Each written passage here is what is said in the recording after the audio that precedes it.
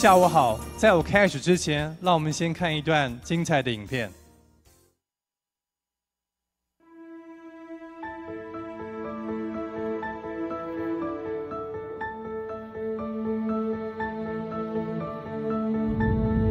I am a visionary, exploring a universe of data to sharpen our view of the most distant galaxies. And studying black holes to help prove Einstein's theory of gravitational waves. I am a healer, giving doctors the power to turn mountains of data into life-saving breakthroughs identifying diseases like leukemia from a simple drop of blood, even in our own homes, and finding new ways to bring cures to market faster. I am a protector, keeping our oceans safe from invasive species, and helping our crops flourish while minimizing pesticides. I am a helper, assisting customers in stores and the disabled in their homes.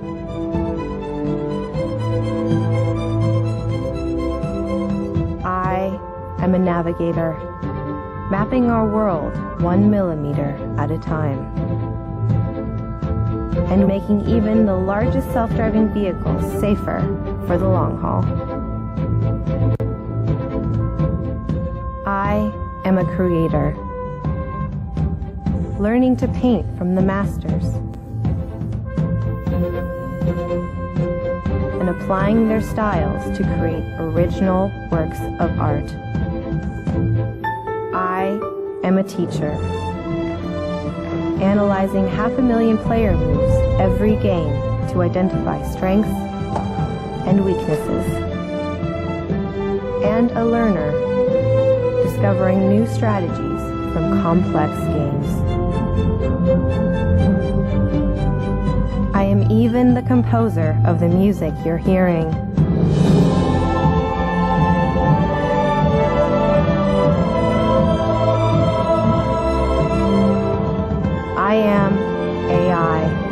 Brought to life by NVIDIA, deep learning, and brilliant minds everywhere.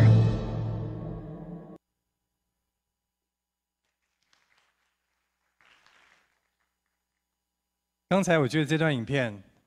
有一个我自己也觉得最感到 impressive 的地方，就是刚才整个背景音乐其实也是透过 AI 人工智慧所 compose 出来的。The background music you just heard for the video clip you just saw is actually composed by AI. So,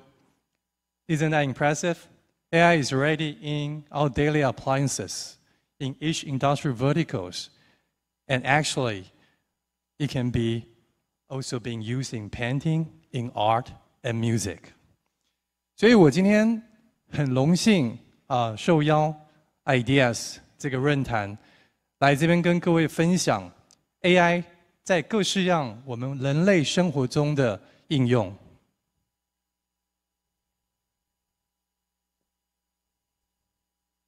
首先，呃，不管你喜欢或不喜欢，你是 AI 的支持者或者是呃质疑者，you have to face the reality that AI is truly in our daily lives already. For example, 你平常你用手机，你在做一个呃 voice 的一个 inquiry，你在问你的手机说，哎，你要去找什么样的餐厅，或者是你要去查询什么样的知识，手机会给你这样的一个呃 reply，告诉你 answer，这是一种 AI 的应用。比如说你今天你要消费，你看到了一个你喜欢的一个皮包或鞋子，你用手机把它拍照下来。你可以透过 AI 的应用，很快的去帮你找到在什么样的地方、什么样的 shop 有最好的价钱，你可以买到你想要的东西。这些应用都是在我们生活平常你已经很习惯在使用的，但是你可能不知道这个背后其实都是透过 AI、透过大数据、透过深度学习所训练出来的这些 neural network 这些 model 来提供给大家这样的一个服务。AI 不只是在我们呃平常的生活之中，AI 也可以帮助我们人类。It's touching our lives and caring our human beings. Um, for example, um, a lot of families um, are immigrants, and usually grandmother and grandfather, they are speaking different kind of uh, native language from their own country, um, but their grandchild is probably learning, uh, you know, English in the United States, and AI can help to be a real-time translator to bridge the gap of the language gap in between different generations to build a closer family. AI 也可以在医疗上面帮我们提早侦测出来，这个小孩、这个婴儿 是不是有什么样 potential 的这一个 disease 的 possibility，来提早做预防治疗，来让我们的家人、让我们的下一代更健康，甚至是。有一些是天生出生就不是遭到这个世界很公平对待的，比如说他有眼睛的啊视觉上面的残疾，AI 也可以帮他去做一个及时他面前所有的路况的辨识，并告诉这个盲人说你前面是什么样的情况，是不是有车子经过、人经过，还是有什么样的危险，让他能够在这个社会之中行走更方便，也可以得到。更有尊严的一个生活品质。AI 甚至在公众的领域里面，也在发挥它的强大的嗯帮忙，我们人类可以过得更好的一个角色。呃，我想在公共领域的这种呃公共安全上。Smart City 里面有一很有一这有一个很重要的一环是啊，intelligent surveillance。过去呢，呃，这些 surveillance 它都是靠这些 camera 录制了这些 video，然后这些 video clip 可能是到达一个呃中控室，然后一个人坐在那个地方看着这些好多的荧幕，哎，在发觉说是不是有什么样 potential 的 danger 或者是问题。但是透过 AI 呢？透过这种更先进的 intelligent video analysis，这个 algorithm 好，这样子一个 neural network 能够及时的去察觉出来说，是不是有一些 potential 的 threat，是不是有一些 potential 的一些可能危害到呃各个公共的这些行人好，或者是在 station 里面的这种状况，及时的预警式的给大家做一个提醒。再来，在很多的嗯这种客户服务的领域里面，AI 它也可以结合很大的这种 domain knowledge 的资料库，然后很聪明的去做每一个顾客的语言的自然语音辨识，来提供它很多的这种 intelligent 而且很有深度的这种知识的咨询服务。这种呃发展，我想以后在呃金融业好。或者甚至是在一些旅馆，好，这种需要面对人、面对客户的这种服务，啊，它也会发出更大的这个功效。甚至是在农业，各位可能觉得农业是一个很传统的一个产业，但其实 AI 在农业里面，呃，也在发挥它的功能。比如说，你们现在看到荧幕上右边的这个例子，啊，它是一家公司叫 Blue River。它专门生产这种智慧农耕机，它有办法分辨今天在一个呃农地上哪一些东西啊是有呃无益的、有害的这种啊植物，那哪一些东西呢是这位农夫他辛勤耕耘所播下去的种子？它智慧性的透过影像辨识的方式来做这种判断，同时针对不需要的植物，它会自行自动的摘除。针对农夫所他需要 harvest 的谷物，它会去施肥，这样子的话可以大大节省人力，也可以大大节省施肥，好这种 chemical 的这种使用，让环境可以更环保，同时也可以制造出更多健康的谷物来提供给我们人类的社会。所以刚才我是从三个面向，从平常你的生活之中，从 AI 怎么样造福、照顾，甚至是治疗人类的疾病。第三个是从公众的领域里面，甚至是传统的产业。AI 它都已经在扮演好很重要的角色。接下来我想要针对呃更深入的这些 vertical，给大家分享一些 AI 应用的实例。Healthcare 在医疗的领域里面，呃，最主要分成 detect 疾病。针对疾病的 diagnostic，第三个是啊找出 cure 的方式 medication，在这三个医疗领域的 face，这三个 face 都已经有很成功的 AI 的应用。各位现在看到的这个是呃左边是一些 X 光片，好，那右边呃可能是一些呃 MRI 好或者是 CT 的一些扫描。我本身我不是医生哦，但是嗯。在座想，如果有医生的话，或者是对这方面医疗有研究的话，其实大家都知道，他们所学的这些专业的知识是经年累月的苦读，积年累月的经验。那面对这些病患的时候，他们采取的是呃，要很仔细、很小心的去找到这个病患是不是有可能会有一些相关的疾病。那对于医生来讲，现在这个情况有福了。因为我们可以透过这种啊医疗大数据收集的方式，还有学习今天哪一种 pattern 是有可能是会发生什么样的疾病或 cancer 的，来提供给这个医生建议说这个病患有可能会有什么样的这种 cancer，还有加上它的 possibility。针对这样子一个医疗的 detection，美国有一家公司叫 Artris，这家公司呢。它已经也得到美国 FDA 五一零 K 的 clearance，还有西医的认证，这是很不简单的。这样子一个应用，已经是在美国的心脏科医生上，成为是心脏科医师的判断有没有心脏疾病的助手。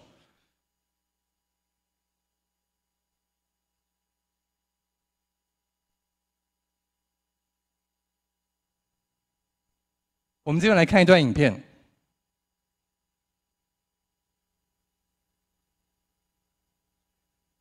各位刚开始可能看不清楚这个东西是什么，但是接下来你们应该更有感觉了。其实它是一颗心脏，活蹦乱跳的心脏。那刚开始那些灰阶的扫描图，呃，其实应该是针对心脏的超音波的这个 ultrasonic 的这个扫描。那透过 AI 的技术，还有透过整个 visualization 的技术，我们可以针对每个病人的这种。心脏的超音波扫描，而建立起他的个人的心脏模型。那今天如果可以把这个个人的心脏模型把它 build 出来，把它 visualize 的话，更可以帮助今天这样子一个心脏科相关的医疗人员去对这个病患去做相关的建议跟判断。刚才是跟各位分享呃医疗方面在 detect 还有 diagnostic 应用 AI 的例子。接下来这个例子呢更厉害，这是一家公司叫 Insisco，它利用 AI，利用大数据，针对 human 的 genomics 基因序列去做收集、辨识、学习，还要找出这些 genomics 跟各种疾病好的相关联性，同时呢，去开发出更精准的标靶药物来治疗这些相关的疾病。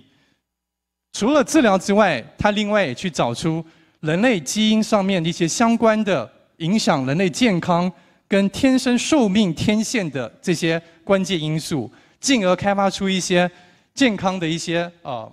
呃药品，让人类可以更延年益寿。那我们接下来看他们这家公司非常 impressive 的一个 video introduction。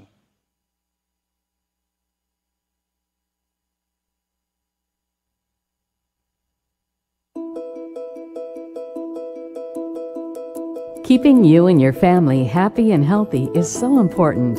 And at Life Extension, our goal is to ensure everyone stays healthy and lives better. In fact, we've been a trailblazer of dietary supplements for over 35 years, funding more than $175 million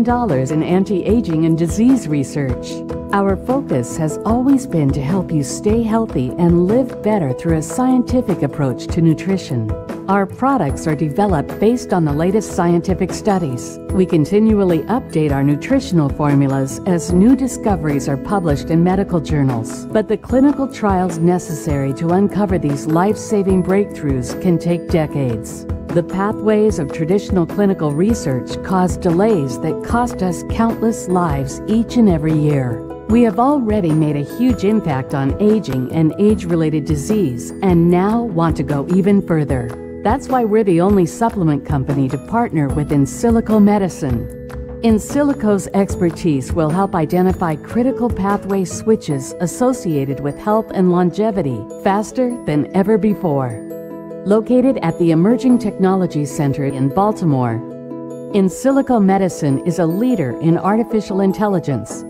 bioinformatics, and cutting edge analytics. In Silico has developed a novel scientific method that uses deep learning algorithms to catalog millions of data points from multiple universities, clinical studies, hospitals, and more. This data is used to identify compounds with unique anti aging properties. Life Extension will use that knowledge to be the first to offer you nutraceuticals with revolutionary ingredients called Geroprotector designed to maintain youth and reverse aging, giving us more time to spend with those who matter most. So we can all stay healthy, live better, and celebrate life for years to come. Life Extension and In Silico Medicine, exclusive partners in health technology and groundbreaking nutritional supplements.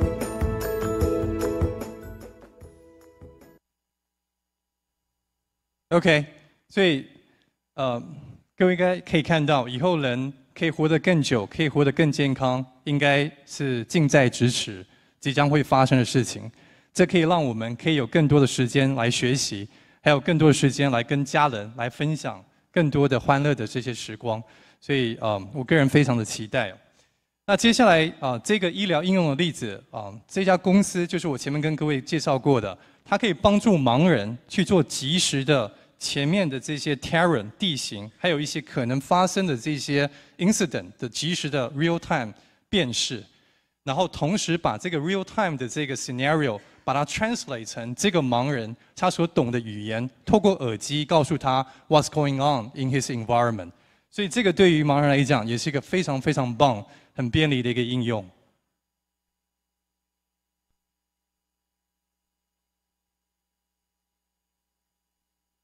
好没电。OK，刚才我们看呃是一个 healthcare 好 medical 的这个 vertical，接下来我们看农业这个 vertical。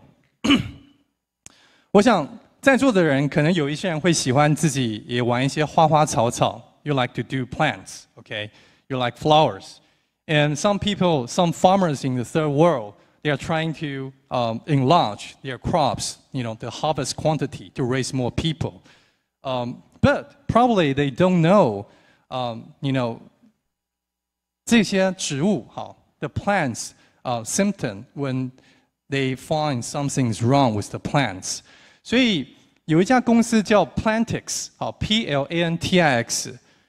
各位其实可以透过你的手机 Android Store 或者是 Apple 的嗯 Apple Store，你们都可以 download 到这个很棒的应用程式叫 Plantix。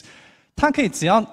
啊拿你的手机去照这个植物。 你想要知道说今天这个植物它是有发生什么样植物上面的疾病，它会立刻的做辨识告诉你，同时还会告诉你治疗这个植物疾病的方法。好，那这个对于你喜欢种花花草草，或者是在第三世界的农夫，他们缺乏这些呃相关的农植物的这种病理专家，好都非常非常的有帮助。可以帮我按下一页。OK。嗯，这是刚才跟各位分享的农耕机，好，就 Blue River。那重点是它可以针对不需要的这些植物，好杂草，跟所需要去 harvest 照护的这些 crops，它能够做及时的影像辨识，然后针对杂草来做摘除。针对需要去照顾的谷物，它会只只针对它来做施肥，所以这个会节省人力，同时呢也会节省整个农药施肥的这个使用量，对环境来讲很有帮助。好，那对于整个呃农作的这个生产量的提升也会很有帮助。OK，呃，消费 AI 怎么样去影响我们人类啊的消费的这些行为？还有怎么样去影响以后零售业的一些变化？让我们来看呃一个很好的一个例子。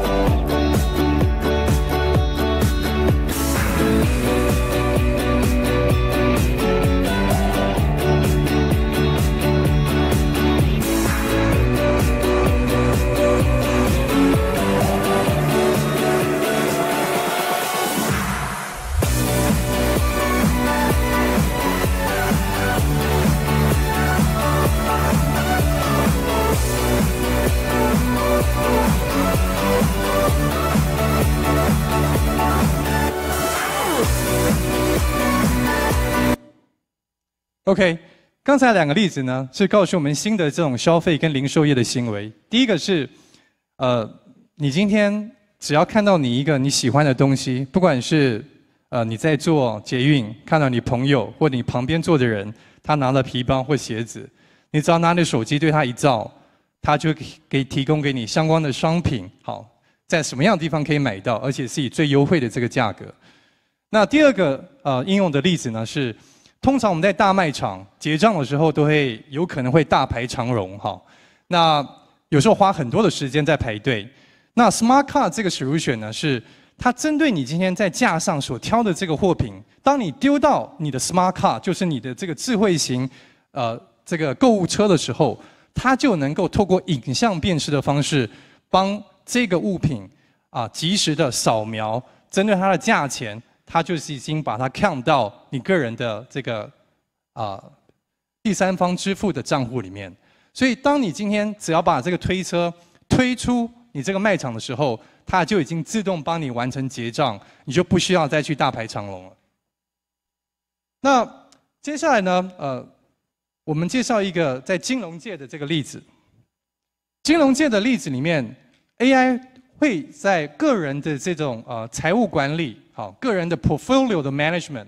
还有在 risk management，个人的这一种金融风险上，还有个人的这种呃信用的风险评估上，还有可能是公司行号的这一种呃信用贷款的这种风险评估上，都会发生它的这种大数据分析跟建议的功能哦。那这边的这个例子是一家很有名的呃。针对呃公司去做咨询建议服务的呃国际大厂叫 Accenture，好，Accenture 这家公司呢，跟各位稍微介绍一下，它本身一年的营业额超过啊三十二个 billion US dollars，营业额非常的大。它所咨询的对象包含政府、包含公司，其实也包含军队。好，那他在帮这么多重要的机构去做咨询服务的时候。很多的呃机构都会问他们说，现在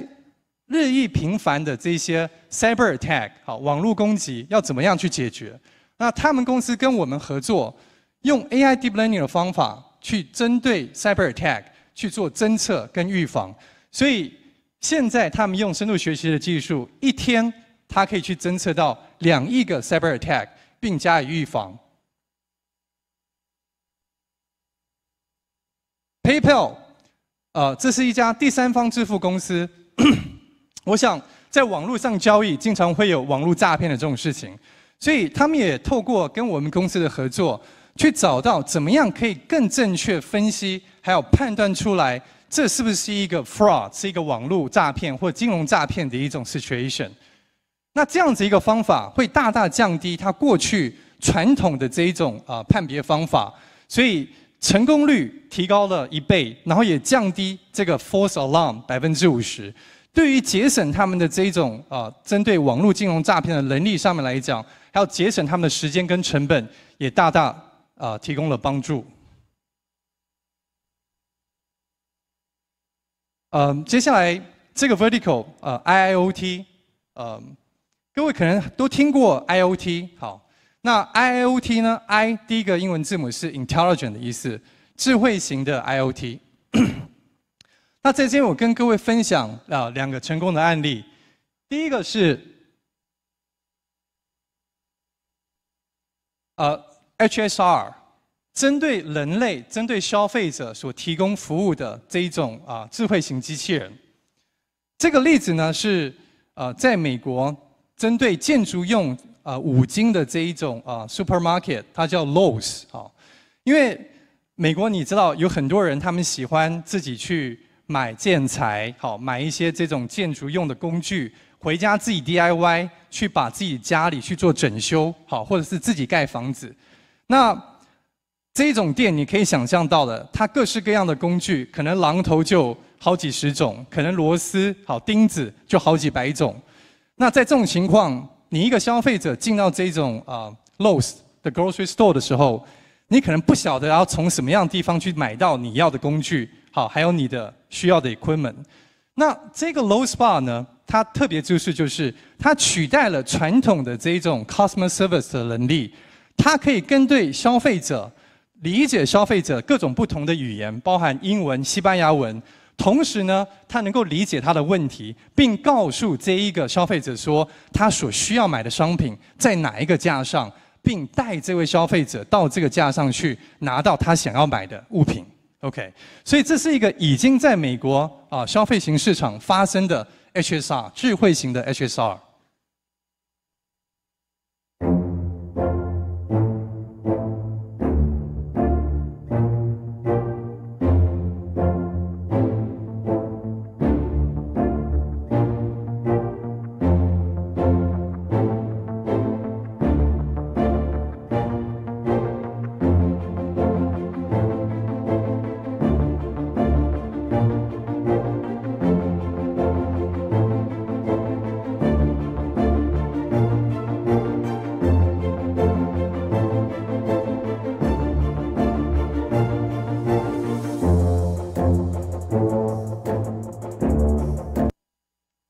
OK，呃，刚才这段影片呢，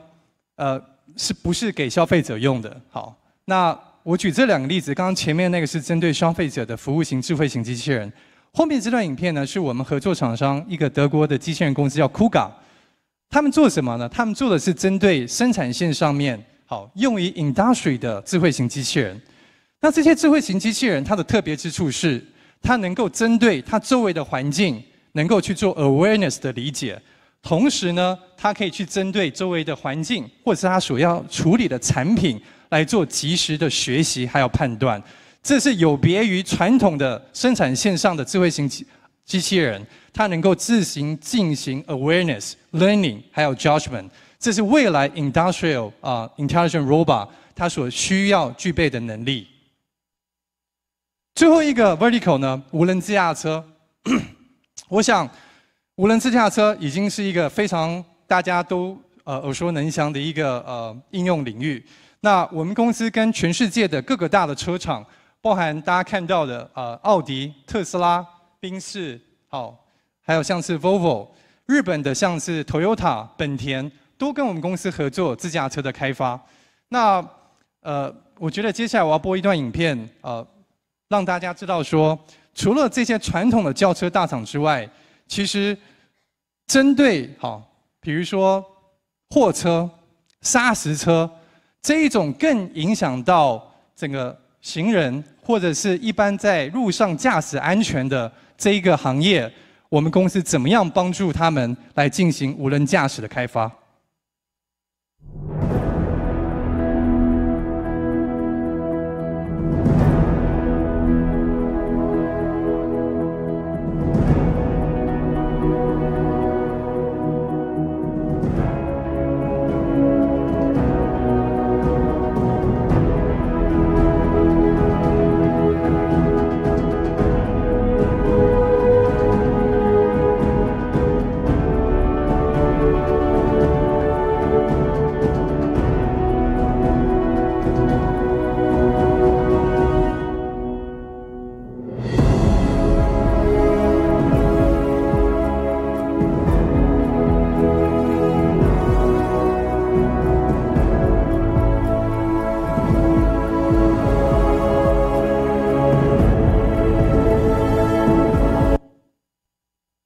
？OK，PACCAR 呢，这个是美国最大的卡车制造商，它为了避免这种货车驾驶长途的，好这种长时间的这种疲劳，所以他开发出了这一个无人驾驶的辅助系统，希望能够在这个货车长程驾驶时候大大降低它的肇事率。那我想这是一个很棒的，在呃整个货运业将来可以应用的人工智慧的方向。那讲了这么多人工智慧的这些应用，这些已经发生在我们生活之中的这些应用，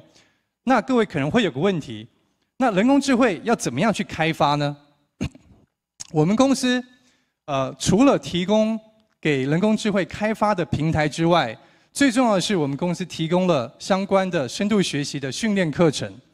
那这个训练课程呢，它是一个呃非常有系统的，从初级。中级到呃高级，好，很很有系统的一个呃训练的一个课程。那它可以教你呢，从一个本来你对人工智慧的概念不是很懂，你对深度学习怎么样来应用 data 来做训练的概念，你不是很懂，变成你完全了解这样的一个理论。同时，它会教你实做，它会让你去操作一组 data set，比如说是一组花、一组狗或者是一组猫的 data set。然后帮助你去学习怎么样用我们 deep learning 的这个 digits 的这个训练的这个 software 来训练出来一个 neural network 来针对这些图片来做及时的辨识。所以今天这个课程，我想是一个大家如果想要去啊学习人工智慧，或是学习怎么样开发人工智慧深度学习的这些 model 很好用的一个课程。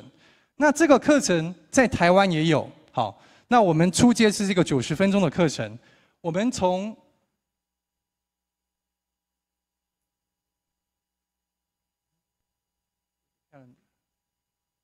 OK，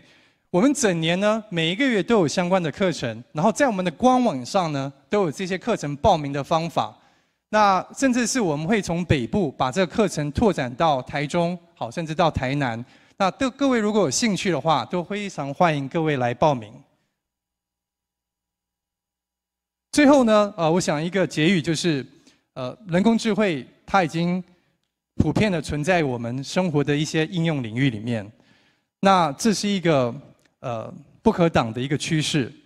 那人工智慧之所以现在发展的这么迅速，最重要是因为深度学习。好，深度学习的这一套方法，可以透过大数据，透过 GPU 的平行运算加速的平台，把各式各样的这些你要训练的 neural network 的 model 很快速的加以训练完成。好，那我们公司会提供相关的这些啊技术平台的支援。那最重要的是，我们公司会跟台湾的长期的合作各位伙伴，还有甚至是啊在学的学生，一起来啊来做整个人工智慧教育的这种推广，还有整个课程上的推广。那希望说台湾在人工智慧的这一个新的呃时代里面，能够拥有一席重要之地。我今天的演讲跟介绍到这个地方，谢谢大家。